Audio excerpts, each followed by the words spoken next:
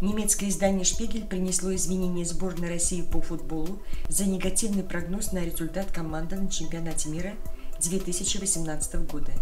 После разгрома россиянами Саудовской Аравии со счетом 5-0, немецкий журнал вышел со статьей, а, в ней в частности говорилось, что Россия все равно не выйдет из группы. Однако по итогам матча второго тура группового этапа, который закончился победой российской национальной команды над Египтом 3-1, журналисты Шпигель написали «Прости, Россия, мы не правы». Однако они отметили – что хозяйка турнира почти достигла плей-офф Мундиаля и поменяла мнение о себе. Кроме того, они также предсказывают, что на стадии 1-8 финала у россиян будет непреодолимая задача в лице Испании или Португалии. Однако они также напоминают, что уже однажды ошиблись с прогнозом. Ранее британские средства массовой информации написали, что многие уедут из России с изменившимся на страну взглядом.